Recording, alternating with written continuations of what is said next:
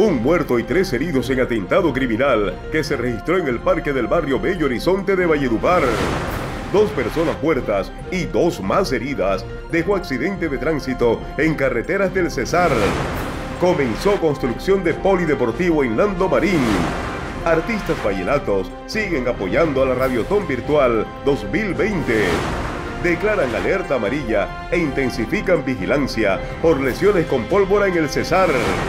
En Becerril realizan jornada de atención primaria en salud. Es un hecho colombianos tendrán acceso gratuito a la vacuna contra el COVID-19. Por el delito de abigeato, un hombre fue enviado a la cárcel en el municipio de Codazzi. En Valledupar se conmemoró el Día Internacional de la Discapacidad. Real Valledupar se convirtió en el primer clasificado a la semifinal de la Superliga Profesional de Microfútbol dos victorias y una derrota en Copa Caribe de Baloncesto para el equipo de Valledupar. Suscríbete a nuestro canal de YouTube. Somos RTA Noticias, la respuesta. Hola, ¿qué tal? Buenas noches, bienvenidos a las informaciones aquí en RTA Noticias y arrancamos con una noticia política de última hora, tiene que ver con la renuncia de la defensora del pueblo en el departamento del Cesar, Denia Zuleta, quien venía desempeñándose en ese cargo desde hace unos cuatro años. Zuleta ha presentado carta de renuncia ante el defensor del pueblo, la cual sido, ha sido aceptada. Ella le ha dicho a RTA Noticias que posiblemente vendrán nuevos proyectos profesionales que los contará oportunamente. De esta manera arrancamos nuestra emisión de hoy y vamos con otras noticias. El Ministerio de Educación Nacional ha decidido investigar la situación que se ha registrado en la Universidad Popular del Cesar relacionada con la elección de José Sierra Laforí como nuevo rector encargado de ese centro de institución educativa superior. La ministra de Educación Nacional, María Victoria Angulo González, ordenó la apertura de investigación preliminar por la elección presuntamente de manera irregular de José Sierra Laforí como rector encargado de la Universidad Popular del Cesar mediante la resolución 022-462 del 1 de diciembre de 2020, la ministra ordenó la apertura de investigación administrativa preliminar a la Universidad Popular del Cesar, a los miembros del Consejo Superior Universitario, a los administradores, directivos docentes o cualquier persona que ejerza el control en la UPC. La decisión es con el fin de verificar las posibles infracciones a las normas de educación superior relacionadas con la violación abierta a normas de tipo estatutario, tras elegir a José Sierra Laforí como rector encargado. En estos momentos en la UPC existen dos rectores, Raúl Gutiérrez Maya y José Sierra Laforí, que dicen tener la legalidad para ejercer las funciones como tal y tomar las decisiones administrativas para el manejo de la universidad. Este hecho ha sido criticado por la comunidad en general y se espera una pronta intervención del Ministerio de Educación para corregir el entuerto y de la Procuraduría General de la Nación para que investigue el caso y sancione a los responsables si haya mérito para ello. Ubaldo, ¿qué tal? Buenas noches. Un saludo muy especial a usted y a todos nuestros televidentes. Desde casa seguimos informando a través de RTA Noticias. Una persona muerta y tres más heridas fue el saldo de un atentado criminal de, que sufrieron personas que compartían, que estaban departiendo en el parque de Bello Horizonte, nororiente de esta capital. Momentos en el que varias personas se encontraban supuestamente consumiendo sustancias alucinógenas en el parque de Bello Horizonte de Valledupar. Cuatro sujetos desconocidos llegaron y atentaron en contra de sus vidas. Los cuatro hombres, al parecer, se movilizaban en dos motocicletas y uno de ellos desenfundó un arma de fuego y disparó en repetidas ocasiones contra la humanidad del grupo de personas. En este ataque sicarial resultaron heridos Jader Castro Carrillo, Snyder Ortega Palomino y Luis Charris, uno de estos menor de edad. Una vez se conoció del atentado, la policía inició las investigaciones para conocer los móviles y autores de este hecho, que dejó como saldo un muerto y tres personas heridas. Ubaldo, muchas gracias. Un saludo muy especial para todos nuestros televidentes. Varios artistas vallenatos se unieron a la Radio Virtual 2020 e invitaron a sus seguidores a realizar las donaciones. Los artistas vallenatos se han unido a la Gran Radiotón Virtual 2020, invitando a sus seguidores a que hagan sus donaciones a las cuentas de la Liga contra el Cáncer del Cesar, Bancolombia, cuenta corriente 523, raya 055-035, raya 15, y da vivienda, cuenta de ahorros 256, raya 000, 1999, raya 74. Este año el apoyo para la Radiotón está a un clic de tu corazón desde cualquier parte del mundo. Haz tu donación a la Radiotón Virtual de Valledupar hasta el 31 de diciembre. Cabras, tu grupo favorito, se unió a la campaña con Yader y Kennel. Y yo también apoyo a la Radiotón. Así que ya sabes, haz tu donación. Te lo dice Yader, de tu grupo favorito Cabras. Hola amigos, les saluda Kennel Swin de tu grupo favorito Cabras y quiero invitarnos a todos a que este año apoyemos la Radio Tom, que lidera la Liga de Lucha contra el Cáncer. Está a un clic de tu corazón. El compositor de hermosas canciones vallenatas, José Alfonso El Chiche Maestre, también invitó a sus seguidores. Amigos, ¿qué tal? Soy José Alfonso Chiche Maestre y yo también apoyo la Radiotón y los invito a ustedes también a hacer su donación. Es muy fácil, solo a un clic de tu corazón. El mono Zabaleta, otra de las voces nuevas del vallenato, envió su mensaje para todos los corazones solidarios. ¿Qué tal mi gente? Los saludo el mono Zabaleta y yo también apoyo a la Radio Tom. Vaya. Uno de la dinastía Díaz, Diomedes de Jesús, se une a la Radiotón virtual para que sus seguidores apoyen esta noble causa por los enfermos de cáncer. Amigo, te invito a que hagas tu donación a Radiotón Está a un clip de tu corazón, así que ya sabes, te lo dice Diomedes de Jesús, apóyalos. Haz tu donación hoy por los enfermos de cáncer. Hola, les habla Gloria Bulla. Soy sobreviviente de cáncer hace 23 años. Desde los inicios de mis síntomas, el primer lugar que visité fue la Liga de Lucha contra el Cáncer en Valledupar.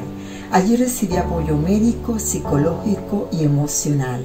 Por eso hoy te invito a que te vincules económicamente con esta noble causa. Todos los días son de Radiotón. El alcalde Mello Castro González ha puesto hoy la primera piedra del gran proyecto de construcción del polideportivo de la urbanización Nando Marín en el sur de la ciudad. Con una inversión de 2.200 millones de pesos, el alcalde Bello Castro González inició la construcción del gran polideportivo de la urbanización Nando Marín en el sur de Valledupar.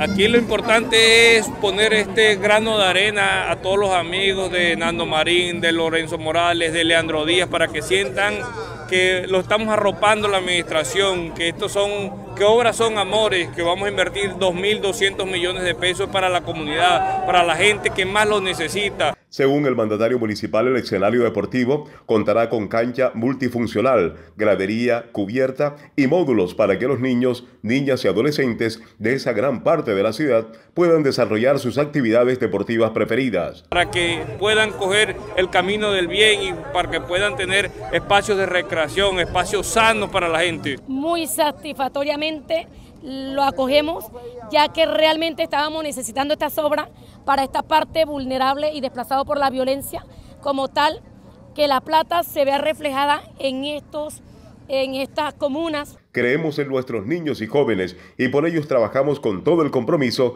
afirmó Castro González. En el municipio de Agustín Codazzi, una persona fue enviada a la cárcel por el delito de aviejeato. Por solicitud de la Fiscalía General de la Nación, el juez segundo promiscuo municipal con funciones de control de garantías de Agustín Codazzi Cesar impuso medida de aseguramiento privativa de la libertad en establecimiento carcelario contra Javier Humberto Simanca Ortega como presunto responsable del delito de aviejeato agravado. El cargo no fue aceptado por el imputado. La captura de Simanca Ortega se produjo el pasado martes primero de diciembre, cuando fue sorprendido por integrantes del Ejército Nacional en inmediaciones a la finca La Platanera, ubicada en zona rural de Agustín Codazzi. El capturado estaba en compañía de otra persona que huyó del lugar cuando sacrificaban a un moviente. Durante el operativo las autoridades encontraron en poder del imputado un arma corto punzante con la que presuntamente estaban cometiendo el hecho. La información suministrada por el propietario del animal sacrificado es que los prejuicios económicos producto de este delito son de 4 millones de pesos, además del estado de preñez del animal, lo que define la conducta como grave.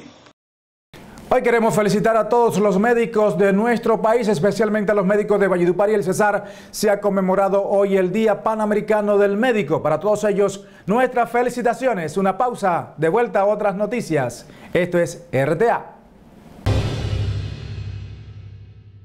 ¿Necesita llantas para automóviles, camión o camionetas? Ven a Upar Llantas y sigue rodando seguro.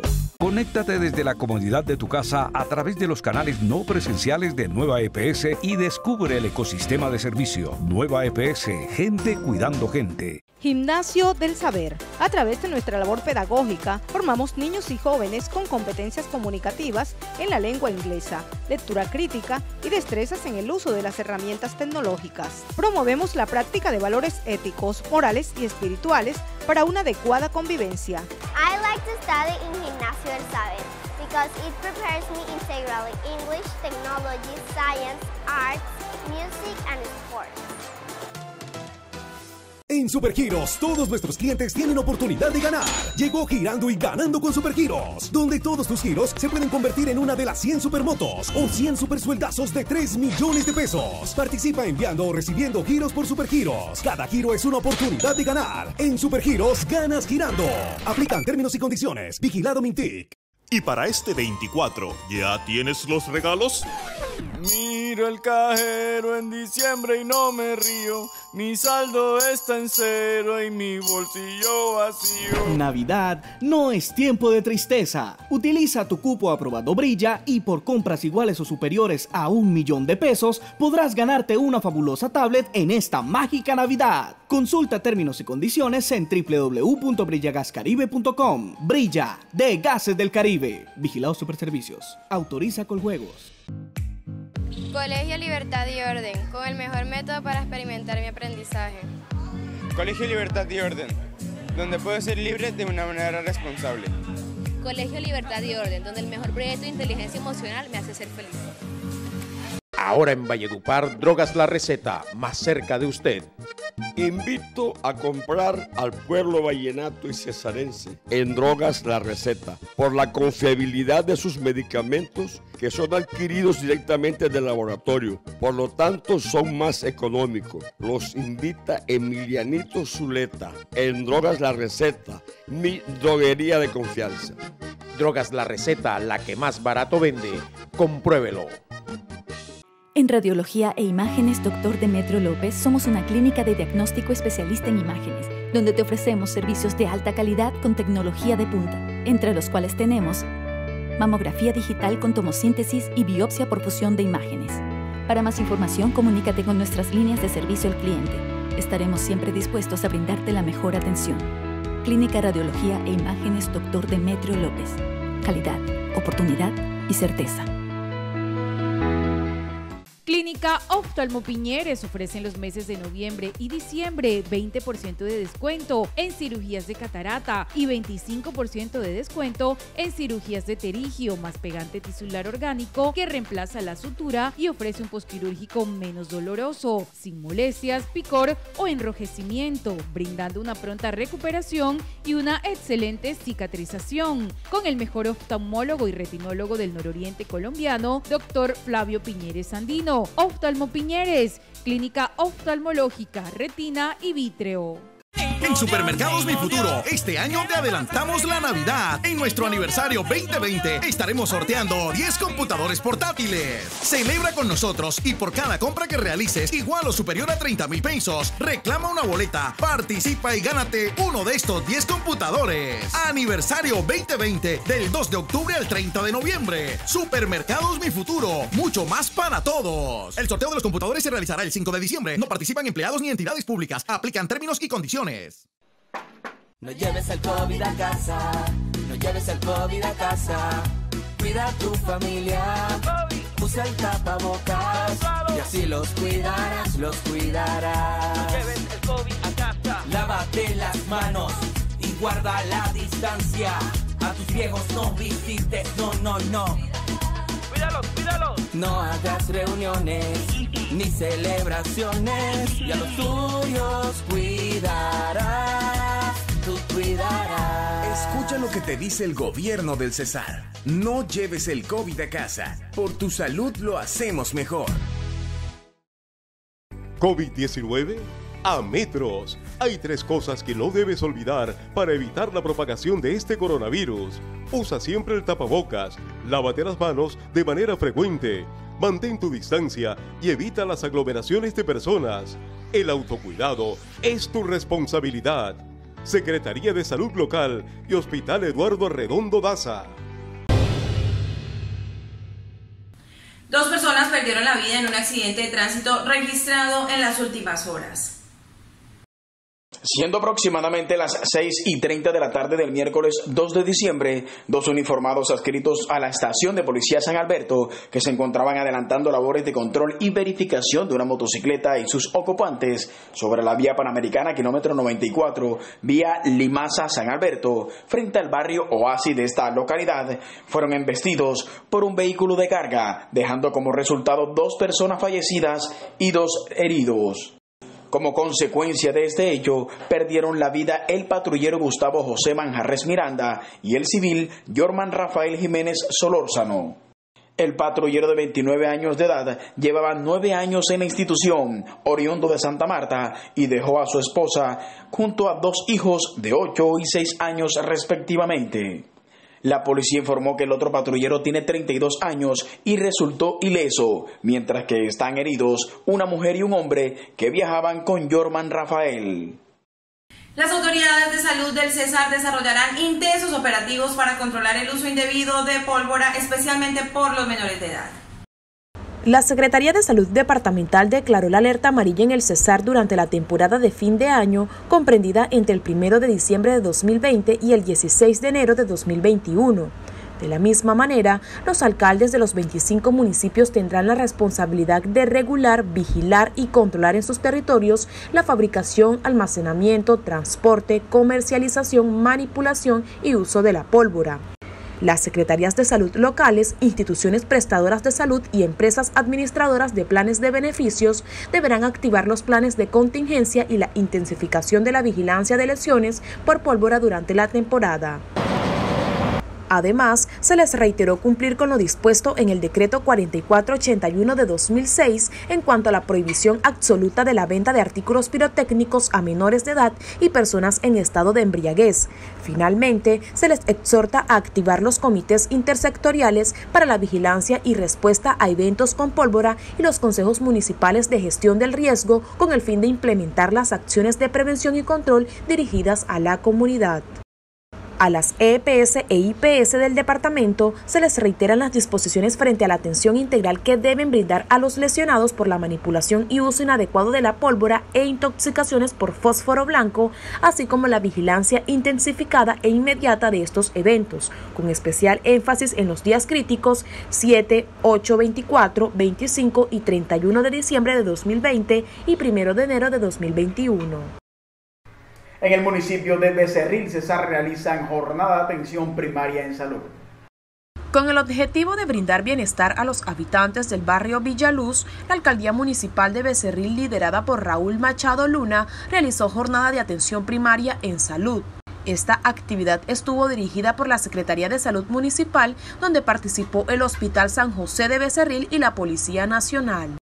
Cabe destacar que la jornada se realizó bajo todos los protocolos de bioseguridad, en donde resultaron beneficiados los habitantes con los servicios de medicina general, odontología, crecimiento y desarrollo para niños y niñas de este sector, planificación familiar, control de vectores, citologías y pedagogía sobre la prevención del COVID-19. Se van conociendo cada día las informaciones, nuevas informaciones sobre la vacuna del coronavirus.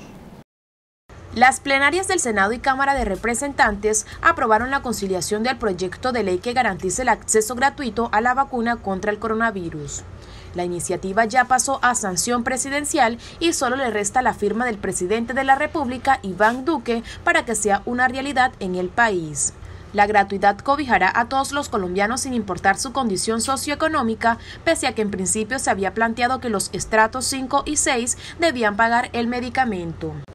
La norma contempla un blindaje para las farmacéuticas que no tendrán que asumir ningún tipo de responsabilidad en Colombia por eventuales efectos negativos que en la salud pueda traer la aplicación de la vacuna. Lo aprobado indica que deberá ser el Estado el que asuma la atención de los pacientes y la responsabilidad en caso de que la aplicación de la dosis genere alguna situación adversa. Dichas multinacionales solo deberán poner la cara en caso de que se comprueben defectos dolosos de fábrica o manufactura del medicamento. Este proyecto de ley también deja listo un marco regulatorio para la adquisición de vacunas o medicinas para eventuales o futuras pandemias que lleguen a golpear el territorio nacional. Ricardo Rojas Osorio, elegancia y exclusividad. Viste a Eduardo Retamoso. Vamos a una pausa de comerciales y ya volvemos. Conéctate desde la comodidad de tu casa a través de los canales no presenciales de Nueva EPS y descubre el ecosistema de servicio. Nueva EPS, gente cuidando gente. La gobernación del Cesar está comprometida con brindarle una buena atención. Contamos con cuatro liquidadores prestos a ofrecer una rápida y oportuna atención para resolver dudas y ayudarle a realizar el trámite del pago. Contamos con diferentes medios de pago, en línea, por PCE a través de nuestra página web, datáfono, recibimos todas las tarjetas o en cualquier sucursal del Banco BBVA. Gobernación del Cesar. Lo hacemos mejor.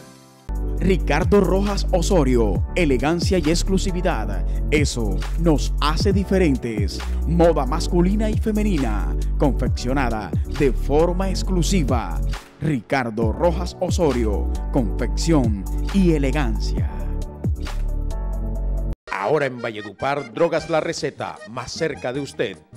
Invito a comprar al pueblo vallenato y cesarense en Drogas La Receta por la confiabilidad de sus medicamentos que son adquiridos directamente del laboratorio. Por lo tanto, son más económicos. Los invita Emilianito Zuleta en Drogas La Receta, mi droguería de confianza. Drogas La Receta, la que más barato vende. Compruébelo.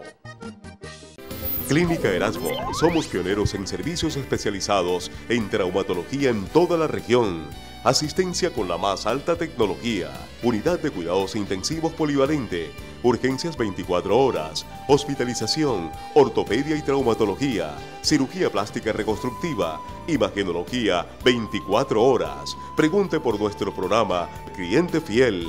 Clínica Erasmo. Cada paciente es diferente. Nuestra clínica también. Colegio Libertad y Orden, con el mejor método para experimentar mi aprendizaje. Colegio Libertad y Orden, donde puedo ser libre de una manera responsable. Colegio Libertad y Orden, donde el mejor proyecto de inteligencia emocional me hace ser feliz. Este año el apoyo para la Radiotón está a un clic de tu corazón. Hola, les habla Gloria Bulla. Soy sobreviviente de cáncer hace 23 años. Desde los inicios de mis síntomas, el primer lugar que visité fue la Liga de Lucha contra el Cáncer en Valledupar. Allí recibí apoyo médico, psicológico y emocional. Por eso hoy te invito a que te vincules económicamente con esta noble causa. Contamos contigo. Ponte la mano en el corazón. Navidad no es tiempo de tristeza. Utiliza tu cupo aprobado Brilla y por compras iguales o superiores a un millón de pesos podrás ganarte una fabulosa tablet en esta mágica Navidad. Nubes de azúcar, una explosión de sabor, color y diversión, disponibles en la ciudad de Valledupar. Para más información, comunícate al 310-523-2899 o al 301-247-7225. Si algo hemos aprendido en este 2020 es que la salud es un regalo precioso. Por eso hay que cuidarlo.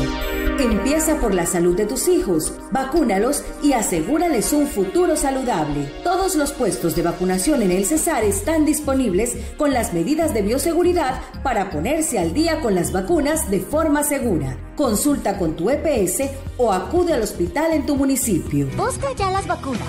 Es gratis. Hazlo de una. Gobierno del Cesar. Por tu salud, lo hacemos mejor. Soñamos con encontrarnos de nuevo en un espacio lleno de naturaleza y cultura. Llegó el momento y estamos listos para recibirte. Ven y disfruta respirando libertad mientras te cuidamos en el Centro de Interpretación de la Cultura Arhuaca. Con Facesar, juntos estamos cumpliendo sueños. Constructora Carvajal y Soto entregará próximamente las dos primeras torres del moderno edificio Las Cayenas, ubicado en la zona de mayor desarrollo urbanístico de la ciudad.